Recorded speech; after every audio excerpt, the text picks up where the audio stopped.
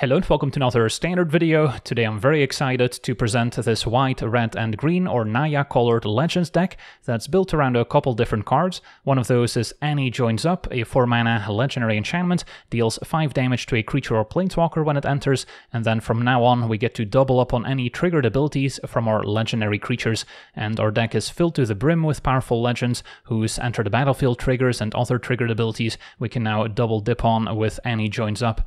And then another build around is Fortune, a Loyal Steed, also a legendary creature. It's also a mount, so it does have the saddle mechanic. And this 3 mana 2 4 lets us scry 2 when it enters, so it can be a nice way to set up our next couple draws, especially with Annie joins up. We now get to scry 2 twice, so we get to dig incredibly deep to make sure our next couple plays are relevant. And then whenever Fortune attacks while saddled, at, the end of combat we get to flicker both Fortune and one of the creatures that saddled it, so we get to maybe re-trigger Fortune's enter the battlefield ability to scry, and we might have other creatures with powerful ETB effects that we now get to re-enable with Fortune, and ideally we also have Annie joins up in play to re-trigger everything twice, and that's where things get really out of hand. And then one of the creatures we wouldn't mind flickering with Fortune or trigger twice with Annie joins up is a Roxanne, Starfall Savant, which will make a Meteorite token when it enters or attacks. So with either one of those triggers, we get to make two Meteorite tokens if we control our legendary enchantment, now dealing two damage twice to any target. And then as long as we control Roxanne, those Meteorite tokens can tap for two mana as opposed to just one. Then we also have Dragonhawk Fate's Tempest, a 5-5 for legendary flyer, and when it enters or attacks, we get to exile the top X cards of our library, where X is the number of creatures we control with power 4 or greater, and then we get to play those cards until our next end step, and for each card we didn't play, we get to deal 2 damage to each opponent, so even if those cards can be played right away, we still get a bunch of damage out of them, and you can imagine if we have both Fortune to flicker Dragonhawk and Annie joins up to trigger it twice, we can just one-hit KO the opponent without even needing to attack with Dragonhawk, which is pretty great.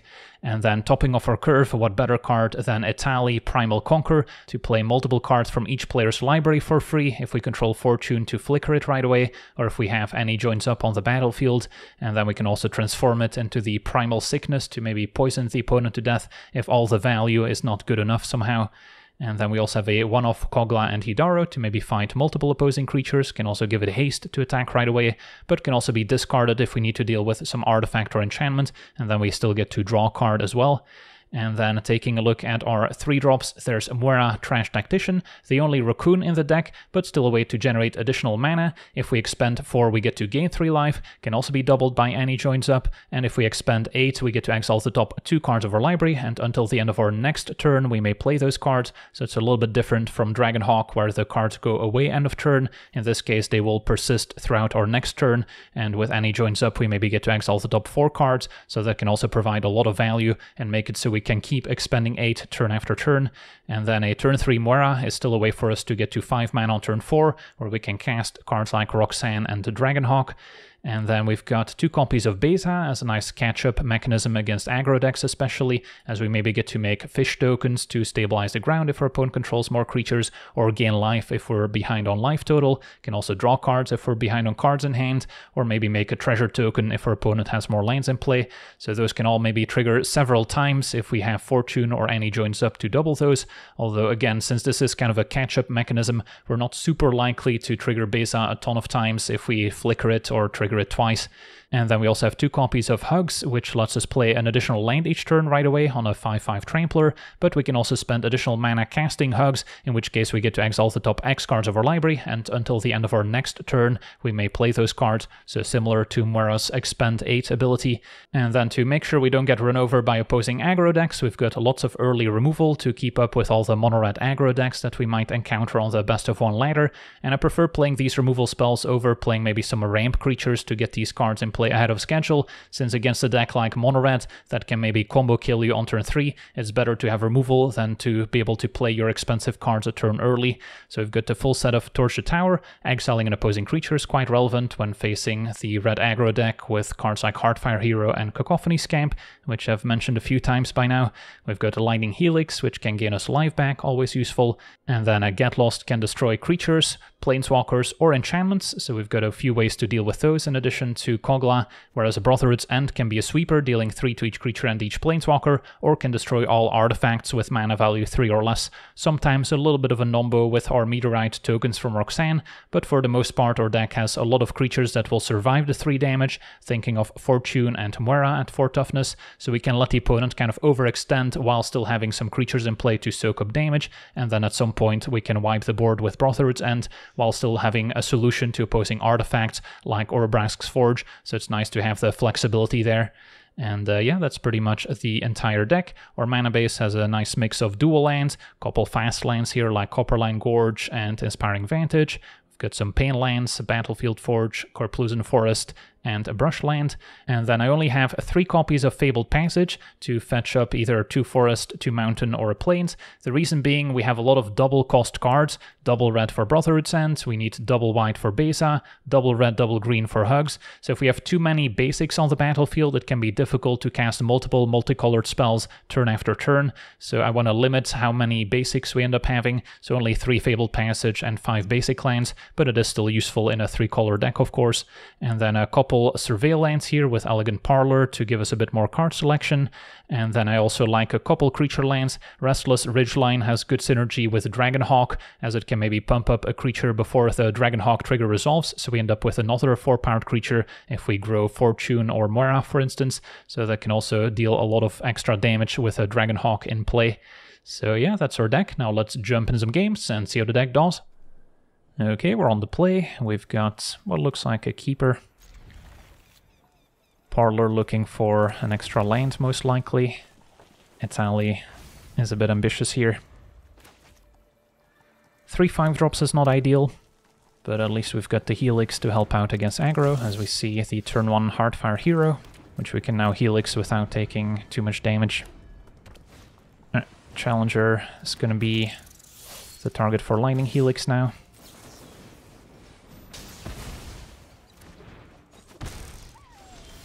And another Helix to draw, not bad.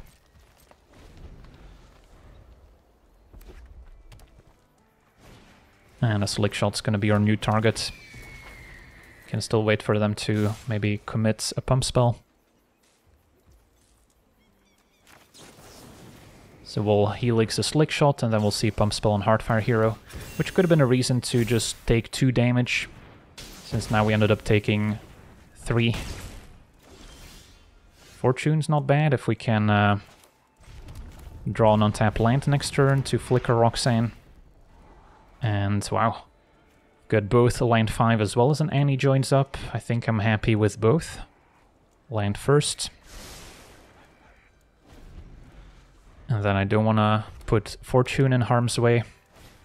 Another Slick Shots we should be able to remove next turn, assuming there's no Monstrous Rage to give it extra toughness.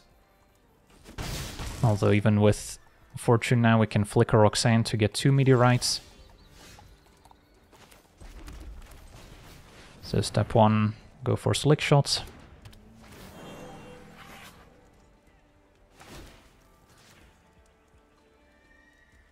That works. And then our opponent might have a way to trigger Valiant here, but that's alright. Opponent actually has the Lightning Strike for Roxanne, so we don't get to flicker it this turn. And then I may as well attack, since Fortune will come back untapped. Alright, do we want a ridge line? Don't think so. Still keep Annie joins up. It's another removal spell, and plays quite well with our cards we have left. Challenger, do we see an attack? We do. So opponent presumably has a pump spell left. They're probably going to cast it to trigger Valiant. If not, we can mow down both creatures with Roxanne next turn. Yeah, let's go for it.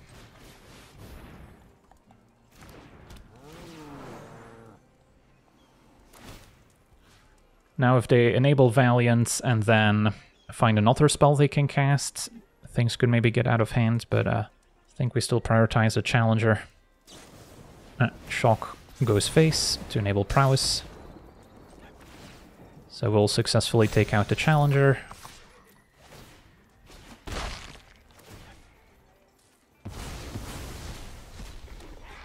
And now we've got two blockers for Heartfire Hero. And a Kogla and Yidaris looks like a good top deck as well. Now we've got a bunch of extra mana from our meteorites, so we can start double spelling.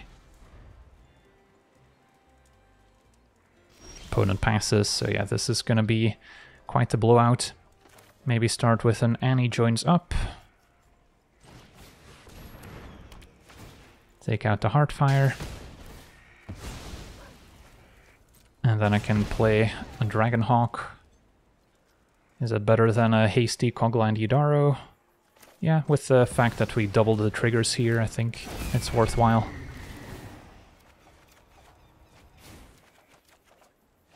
And then can still maybe play a land out. And yeah, her opponent has seen enough attack, flicker, Dragonhawk to deal another 8 damage potentially, and if we don't win right now, we're certainly in a good spot to win next turn. On to the next one. Okay, we're on the play, we've got a Keeper.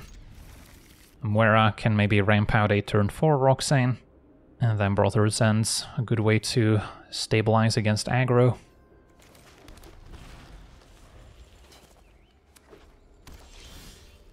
Which red-white could be an aggressive deck, maybe red-white mice, could also be the Boros token control deck, as we see Carrot Cake. So yeah, this is going to be a more grindy matchup. And I'm really hoping we can find a land to play Roxanne next turn. Otherwise, I guess Annie joins up. Is going to be our consolation prize.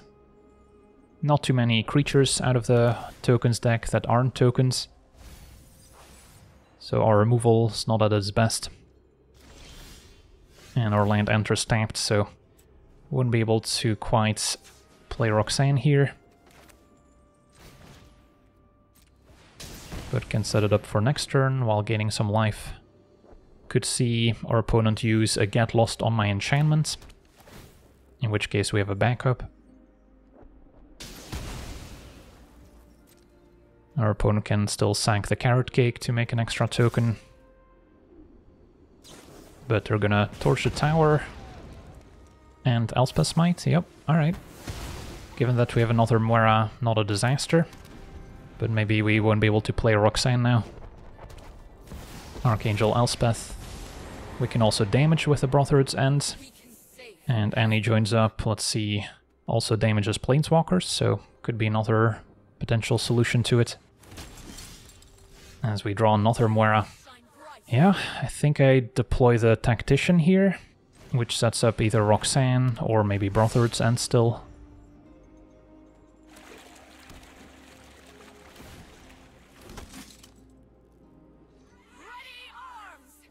Our opponent does get lost our Tactician. So now Elspeth could ultimate, although it's not like they're returning much with it. So I think once again, play Tactician, and then now I get to explore as well.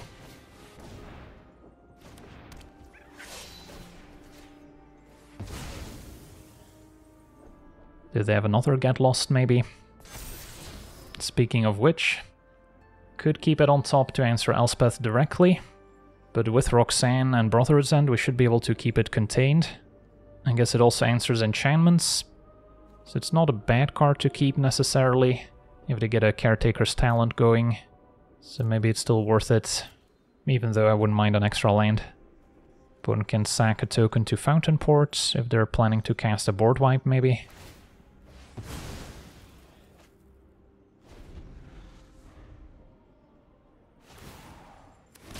Elspeth makes another 1-1. And do we get to untap? We do. Alright, so we can make two mana now. And then I think Roxanne is reasonable. Probably gonna see a Sunfall next turn to wipe my board. But I get to play Roxanne and explore with Muerra once again. And this can just go after Elspeth. And we gain some life.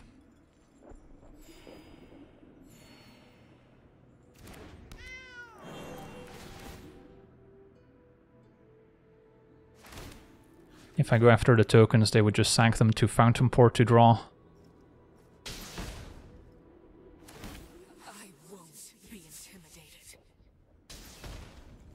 And then I don't want to explore with Roxanne because they might have a Lightning Helix to take it out. And then a land is perfect. Look for cards like Etali, Speak of the Devil. And do we attack? Yeah, I guess I might as well. Could see Chump plus Sack to Fountainport to draw. Could see Block plus use a Burn spell to finish off Muerra, but kind of expecting a Sunfall here. So our opponent's probably gonna cash in some of their tokens to draw first. So that happens. Opponent is gonna Lightning Helix Roxanne after all. So probably not gonna be Sunfalling anymore. And an Urabrask's Forge. So that's where Brotherhood's End destroying artifacts could come in handy, even though it blows up my meteorites. Yeah, I wanted to keep Get Lost for a Caretaker's Talent. Which, you know, we could still try here. Alternatively, what I could do is use Get Lost on Elspeth, and then Brotherhood's End will clean up all artifacts, including the uh, map tokens we just gave to our opponents, which could be an okay solution. Alternatively, I just cast Etali and see what happens, and that's always fun with Annie joins up on the battlefield. Could lead to some uh, fun plays, so let's give that a shot. And then we're likely going to trigger Muerra's second ability as well. Alright, let the fireworks begin. We hit the opponent's Caretaker's talents, and Annie joins up, which can finish off Elspeth.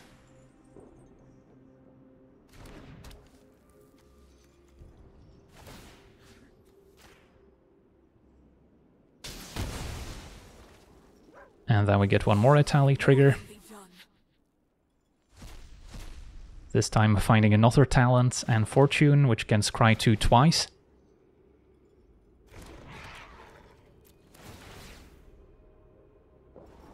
And let's see, Beza, not going to be at its best here. So we can maybe bottom those.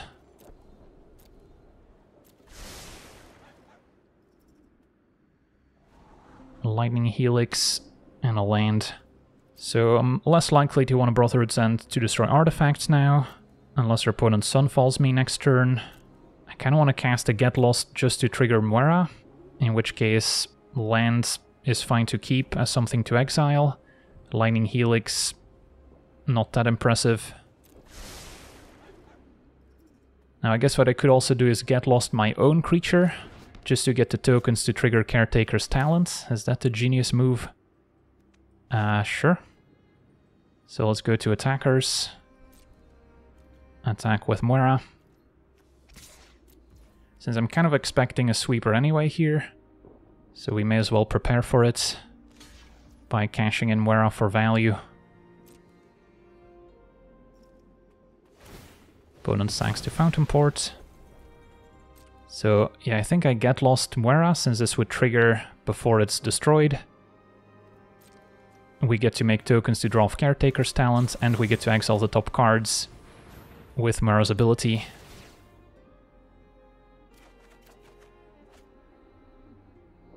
And then next turn we could cast another Etali.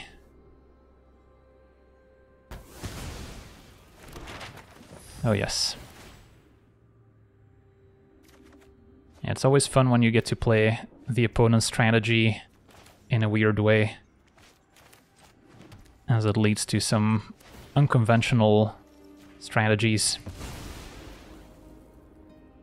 Probably want to keep one map token around as something we can copy with a Caretaker's talent. Lightning Helix doesn't seem too necessary, so we can pass a turn. Still not too surprised to see a board wipe next turn, but yeah, now with double Caretaker's talent, we don't have to worry about the opponent having one as much, and we can just start copying tokens to pull ahead. Our opponent did find their own copy at long last. So now I may be tempted to Brotherhood's End to destroy the forge, but uh, I also have my own artifacts I wouldn't mind keeping around. Get Lost Fortune. Actually triggers my Caretaker's talent again in the opponent's turn. So maybe our opponent's planning to mill us out by having us draw too many cards. Etali could also poison the opponent to death. But yeah, this one's gonna be gone by the end of my turn. So I kinda wanna cash it in while I can, especially with Annie joins up on the battlefield. So, step 1, attack just to deal some trample damage. Could also play Roxanne, so my meteorites make more mana, and then, let's see, 5, 5, 6, I guess it would be a little bit short of casting the Etali afterwards. So, yeah, let's just start by attacking.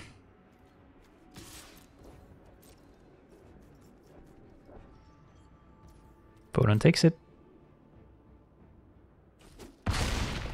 And let's see what Etali number 2 has to say for us.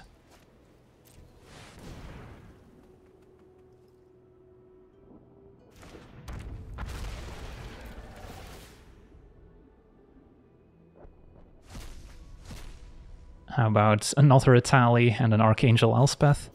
Well, we're certainly going off here. Still need to keep an eye on my library so we don't get too much value at once. But it's not like our opponent's going to mill us out all of a sudden. So, still half of our library left. Just gotta pace our threats in such a way that we don't overextend into a board wipe, and then somehow find ourselves without win conditions but I don't think that's going to be the case. So Lightning Helix can go upstairs, and get lost, can take out their talent. And then we've got another Etali trigger coming up. Brotherhood's End to destroy artifacts. Is that something we're interested in? Can float mana beforehand? Yeah, why not?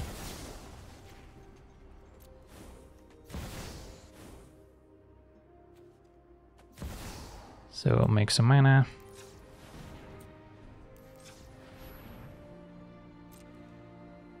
Get rid of the forge and the carrot cake, everything's gone. Resolver Elspeth, which can make a token to draw with both talents, and we still have an Etali trigger waiting for us. Cast Hugs. And a lockdown would just clear the opponent's remaining token, so sure. Alright. Hugs lets us play an additional land out. Make a token with Elspeth. Draw two more cards. We're Living the Dream. And then I could play around Sunfall by not playing Fortune yet. But honestly, even if they do, we're probably in good shape. And then we get to Scry 2 twice. Kind of looking for Dragonhawk to just burn the opponent out. Another Brotherhood's Ends also can be terrible, and yeah, our opponent has seen enough, just too much value. So yeah, that's the Naya deck for you when it goes off. On to the next one. Okay, we're on the play. We've got a Keeper. Brotherhood's Ends will catch us up against aggro, and then Fortune can find land number 4 to curve Annie joins up into Roxanne, perhaps. And our opponent on Lizards can play Ridgeline. Okay, so Brother's End should be effective. Most of their creatures will top out at 3 toughness. Can maybe wait before casting it until their opponent commits more creatures to the board. And for now play Fortune, which will survive our 3 damage. Flamecache Gecko, if they play a couple of those, I'll be tempted to cast my Sweeper. It's gonna be Gecko into Mentor. Yeah, I'm okay with Fortune if they remove it. We've got a backup now. And Lightning Helix isn't bad. So I could keep Parlor on top since I could go Parlor Brotherhood's End next turn. And then Helix plus Fortune could be a good use of my 5 mana. So I think I keep both. I'm kind of assuming they have removal for Fortune. If not, we can hold off an attack. Opponent goes all out. I'll block the Mentor. They might have a Shock to finish off Fortune, but this way they don't get the additional card advantage from Fireglass Mentor. And it's going to be a Lightning Strike instead. Also would have been able to take out Fortune after we Brotherhood's End. And now I'm actually not forced to cast a Sweeper, since There's no card draw engine that will pull the opponent ahead. Could just play Annie joins up, although now we don't have the guaranteed fifth land for Roxanne, since we know we're drawing a Lightning Helix. So I could play Fortune and play Parlor, but honestly I think we can just take over if I wipe the board right now. And then I'm still happy to keep Lightning Helix, since it answers any of their creatures. And Laughing Jasper is a good example of something we want to answer. So Fortune plus Lightning Helix looks good here. And a Dragonhawk's a good top deck.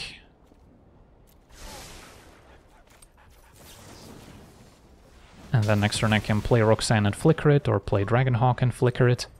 Maybe keeping the land afterwards could have guaranteed a land drop for a turn after playing Dragonhawk. But uh, yeah, Roxanne now looks even better. Take out a Mentor, flicker Roxanne, and I don't think her opponent can realistically recover from this.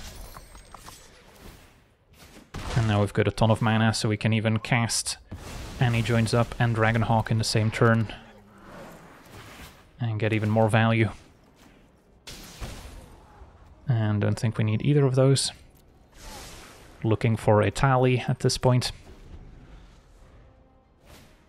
Another Mentor just dies to a Roxanne attacking. So yeah, this is pretty brutal. Take out Mentor, play Dragonhawk. I'm glad our opponent's sticking around to see this. Can still play a lane for turn. Even though keeping it in exile would deal more damage. And now trigger twice. And go upstairs.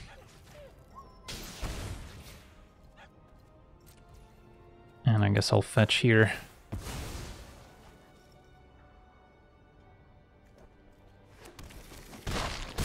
Points at 5, and they're just gonna die to Dragonhawk triggers. Look at all these triggers going on the stack. It's a thing of beauty. And these are both fine to keep, although we're to exile them with a Dragonhawk now.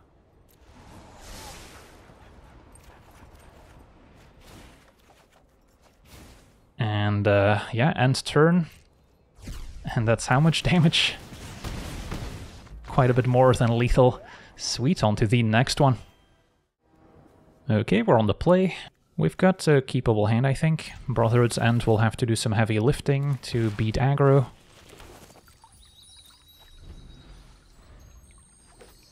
But it's going to be turn 1 island. Get a forest, even though it means I don't get to cast a turn 2 lightning helix. And then we're looking at Fortune to scry to more lands.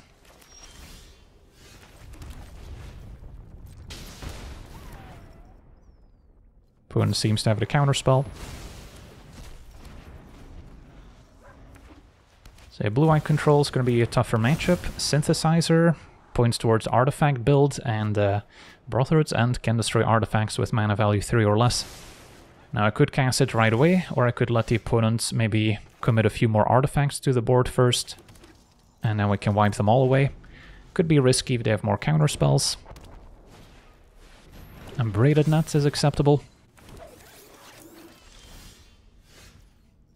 So, yeah, let's go with Roxanne. Even though I will blow up my own meteorites with the Brotherhood's End now. Can potentially cast an Etali next turn. And our opponent can use Braided Net to keep Roxanne locked down. Another synthesizer is what we like to see.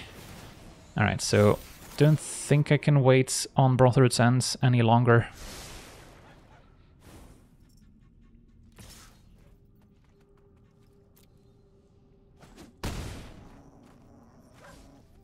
Otherwise, these uh, constructs threaten to just win the game next turn. Opponent looking at Braided Net. They can also tap down my Meteorite, I suppose. Which is what they do.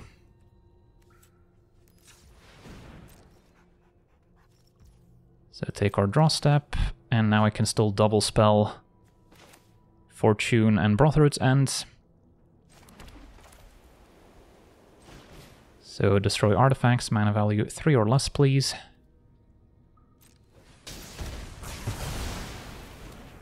And then play Fortune to Scry. And these are both decent, although my hand's already quite stacked. I guess if I put Hugs first, I'll hit Beza with Etali. Since Hugs is better to just cast.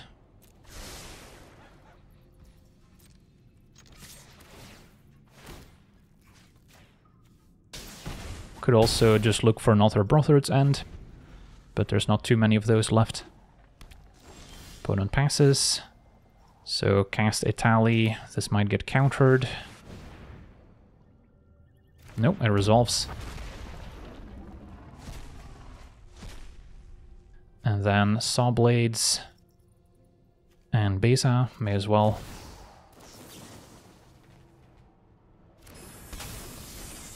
So our opponent's likely sitting on a Sunfall to wipe my board. So what's the best we can do here? Just get another Etali trigger to accumulate more value. Opponent lets us attack. They could also have their own saw blades, I suppose, for fortune.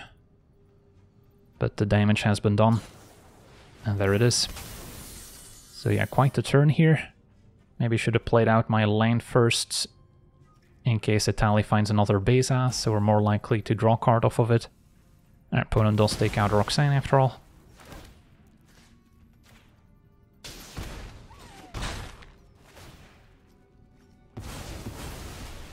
Etali comes back.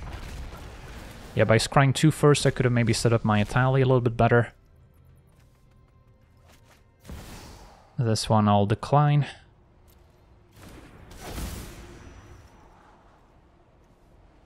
But uh, I'll keep the Brother's End on top now. And then Get Lost doesn't seem needed.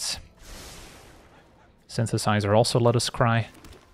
Alright, pass a turn. If we see a Sunfall, we just play another Etali. It's no big deal.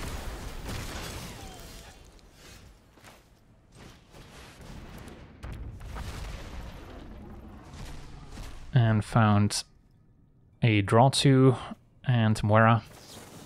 So both pretty good two here.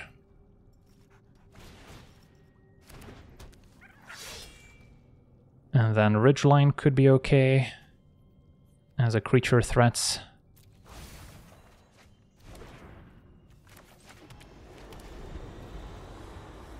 So we're back on the board. The more mana we have for Hugs, the better. I guess our opponent does have a Demolition Field to blow up my creature line, potentially. And here I do want to watch out for the Instant Speed Sweeper Final Showdown, which I've seen in some blue-white lists. So that's a reason to not spend too much in my first main phase, instead attack uh, opponent kind of dies if they just try and animate their incubator.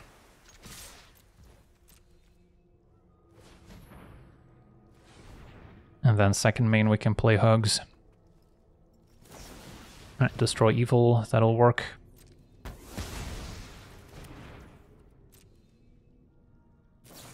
And three steps ahead to copy the saw blades. Cannot stop that at instant speed.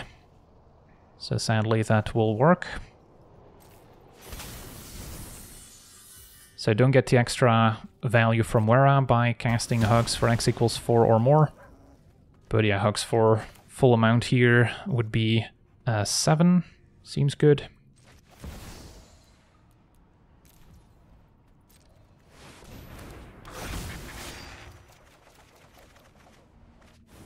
Found the one land I can still play and pass a turn.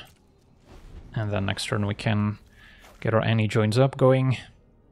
Maybe burn the opponent out with Roxanne's. And our opponent packs it in. Sweet, on to the next one.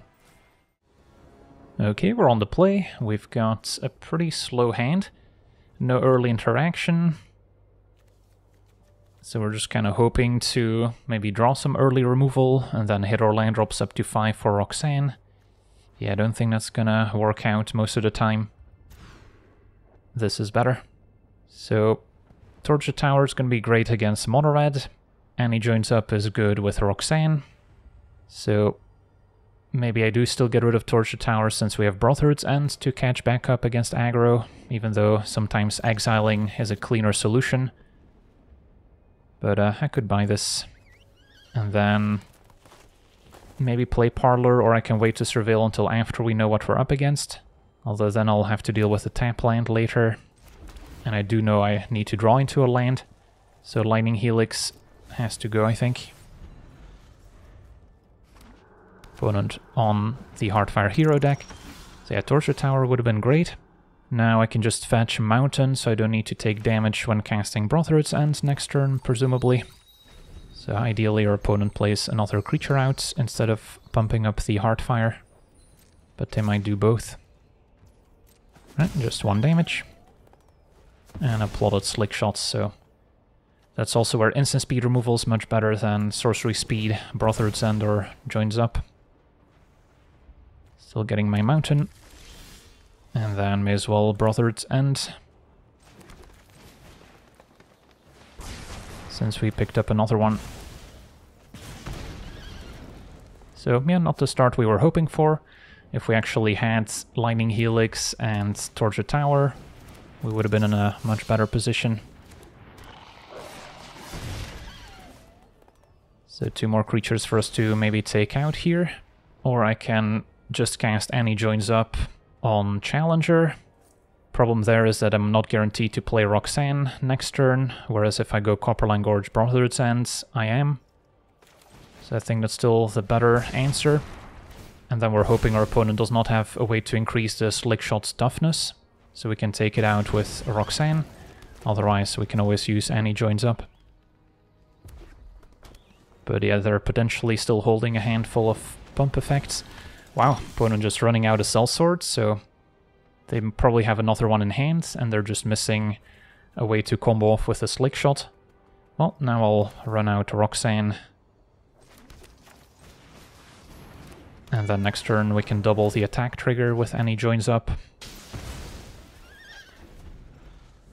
To feel really comfortable, I would still need to find some instant speed removal for the Slick Shot, so another Lightning Helix or Torch the Tower would do. Right, opponent's committing. I think I take it, because losing Roxanne would be unfortunate when we have Annie joins up in hand. Can just double deal damage to the Slick Shot if it goes up to 3 toughness. But yeah, at 15 I could die, assuming our opponent has another Sellsword. So yeah, they have Monstrous Rage plus Sellsword. I die since Sellsword also triggers a Slick Shot one more time. If I block Swiftspear, opponent takes out Roxanne with a pump spell here, and then Annie joins up answers Slick Shots, and then we're both top decking. Maybe that's still the way to go. And Red Moss Ire. Okay, so we don't even take out the Swiftspear. And I get to take out my Meteorite token too. To rub salt in the wound. But uh, yeah, we can clear Slick Shot at least, so...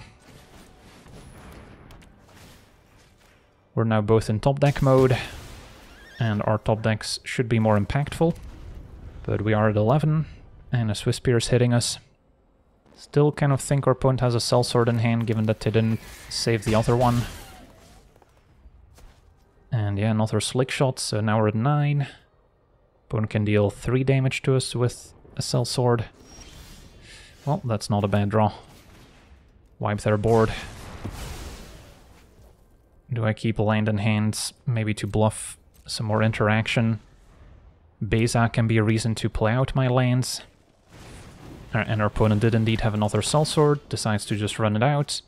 And I could Lightning Helix it now, or maybe wait till beginning of combat in case I top decked another Slick Shot.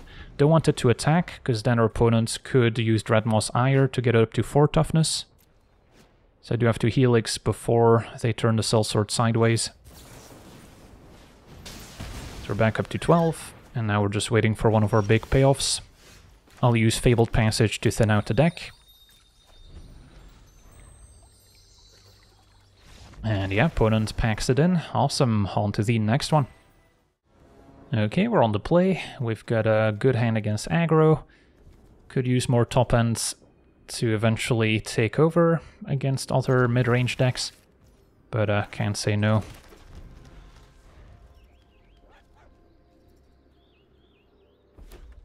Opponent red-black with Theater, so unlikely to be hyper aggro. And are pretty likely to see some removal spells, so don't expect to keep Muerra in play for long. Opponent on Jund colors, and green as well. So it's going to be a pretty grindy battle. And our hand is currently not very well set up for it.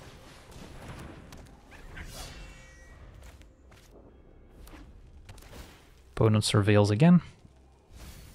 And puts Ghalta in the graveyard, so this might be a reanimator deck. Don't have any real graveyard hate. And once again our hand's not doing much.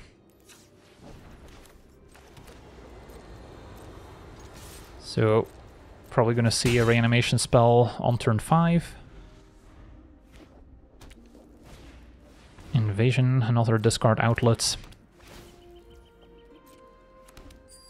So next turn they can maybe reanimate and give haste with Bitter Union. So if they have enough big creatures to reanimate with Ghalta, we're just dead. And there's not much we can do about it. Right, Roxanne was a decent draw, but I don't think it's going to be good enough to save me here for opponent's got the combo. So, can play Roxanne. Trigger Muerra, gain some life.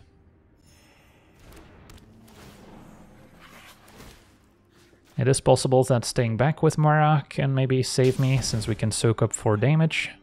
Although I also don't see how we deal with the 12-12 once it's in play. Can only deal 9 damage to it. I guess maybe 2 more from Roxanne. I think I get in for 2. The damage could matter.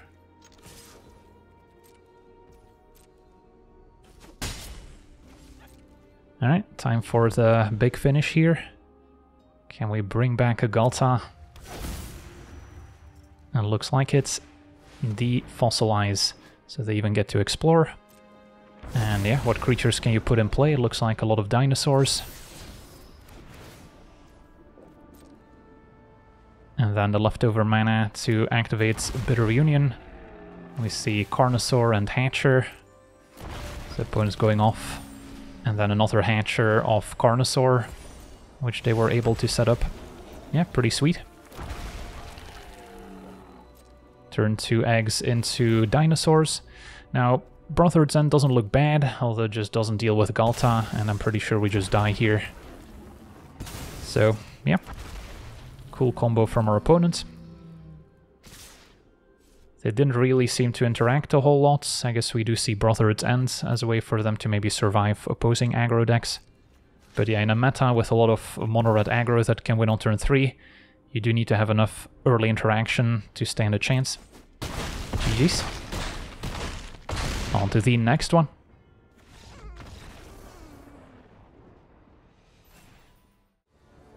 Okay, we're on the play with a fine hand. Got our early interaction, and then Annie into Roxanne could be a nice curve. Facing red aggro. Alright. So we'll wait for the opponent to make a move to then Lightning Helix the Heartfire hero. If they play a 2-drop, we can take that out instead. And this is why I prefer running cheap removal spells as opposed to playing some 2 mana ramp cards, even though it could speed up the curve of 2 drop into Annie into Roxanne. The reality is that you usually need the early interaction to stay alive against mono reds, otherwise they're just gonna combo kill you. And Muerra was a decent pickup. Don't think I'll be able to block the Heartfire hero, but it can eventually gain additional life back as well. So we'll take it. A Monstrous Rage on Swiftspear.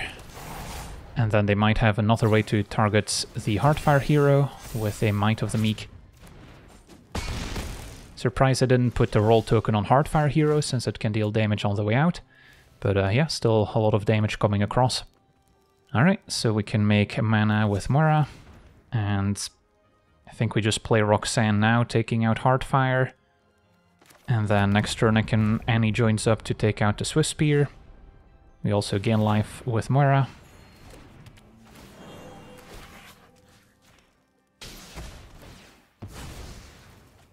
And I could attack for two, I'm just gonna hang back.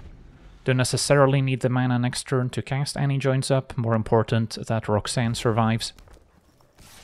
But um, I think I still take it.